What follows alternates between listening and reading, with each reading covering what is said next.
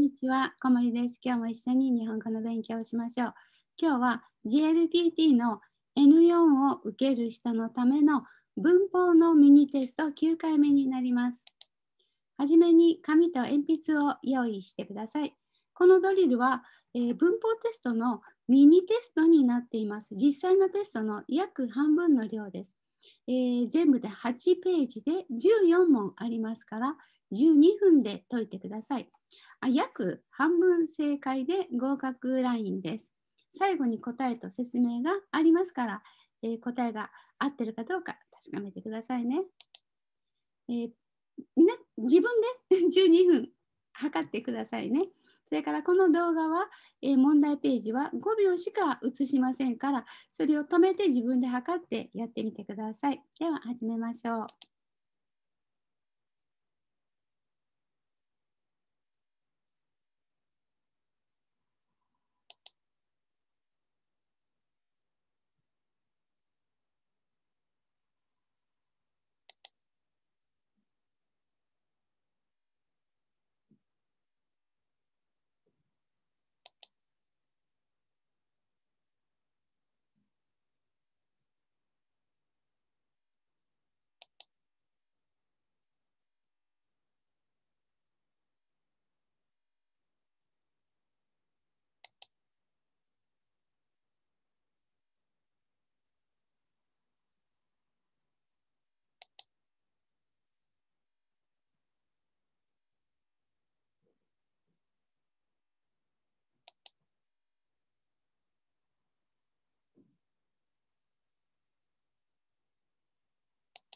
はい、これで終わりです。皆さんも12分で、えー、測って、12分を測ってね、12分終わったらやめてくださいね。では、次は回答です。わからなかった人は、この回答をよく聞いて、答えを覚えてください。まず、問題1、カッコに何を入れますか？一番いいものを一つ選んでください。1、すみません。よく聞こえないので大きい声話してもらえませんか ?1 の2を3で4が。はいどれが入るでしょうか？はいでですねすみませんよく聞こえないので大きい声で話してもらえませんか？3番のでが正解です。2番難しくて何回意味が分かりませんでした。1、読めば、2、読んで、3、読んだら、4、読んでも。さあ、どれでしょうか？読んでも。むずかあ、これちょっと赤になってないですね。難しくて何回読んでも意味が分かりませんでした。4番が正解です。3番、最近一番嬉しかったのは初めて給料をもらったです。1だけ2こと3よう4そう。はい答えはことですね。最近一番嬉しかったのはこののはことという意味と同じです。嬉しかったことはと一緒ですね。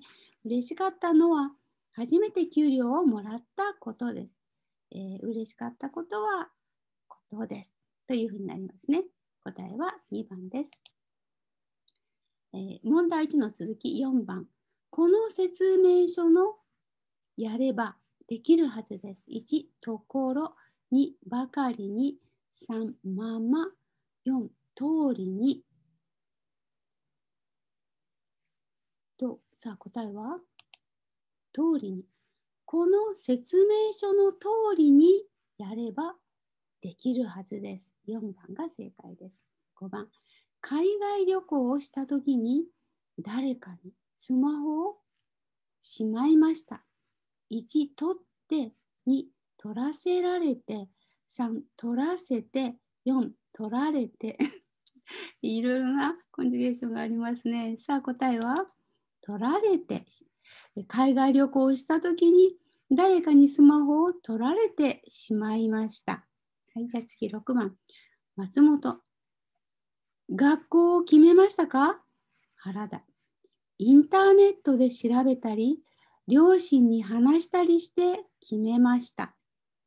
はい1、どういう ?2、どのぐらい ?3、どうして ?4、どうやって？はい、答えは？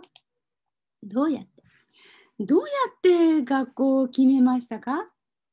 普通であのどんな仕方で決めたかを決めたかをこの人が返事してますよね。どうやってどうしてどうしてだけどどうやってえっ、とどうやってが正解になります。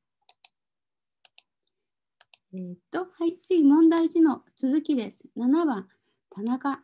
最近、いつも胃が痛いんです。山本。大変な病気かもしれませんから、一度病院へ。よ。1、行った方がいいです。2、行きやすいです。3、行こうと思います。4、行かせてください。はい、答えは、行った方がいいですよ。1番が正解です。8、母が私は頑張っていい仕事を探します。1、喜びたくて。2、喜ぶように。3、喜ぶために。4、喜ぶのに。さあ答えは？母が喜ぶように。2番ですね。私は頑張っていい仕事を探します。これはあのこの3番と間違う人が多いですけども、このよ喜ぶようにっていうのは自分のあのアクションですかね、自分のか感じ、感情をあの入れるときに使います。このためにだったら、母を喜ばせるためにとなります。ようには母が喜ぶように、ようにの時は母が喜ぶようにになります。ためには母を喜ばせるためにとなります。次、問題2。星印に入るものはどれですか？一番いいものを一つ選んでください。9番、500円貸してくれませんか？入っていなかったんです。1、鹿、2、財布、3、2、4、100円。この4つを、え全部どこかに入れます。でその順番で3番目の答えが何かっていうことですけどもね。さあ、ままず全部入れてみてくださいね。はい。えー、財布に財布に100円しか入っていなかったんです。これは100円だけ入っていたということですね。財布に100円しか入っていなかったんです。それで500円貸してくれませんか、えー、答えはこの星印のところ100円4番が正解になります。10番1ヶ月にいくらいつもメモしています。1使った2わかる3か4ようにさあこれを入れてみてくださいね。はい答えは？1ヶ月にいくら使ったか分かるようにいつもメモしています。で、えー、ここは2番の分かるになります。えー、次は問題3。11から14に何を入れますか？一番いいものを一つ選んでください。これを順番に読んでいきますね。11のところまで読みます。新聞、新聞を読む人が少なくなっているそうです。パソコンやスマホでニュースを読む人が多くなったことが11終わり。11。で、11のあの答えですけども、1、理由のことがあります。2、理由のはずです。3、理由のようです。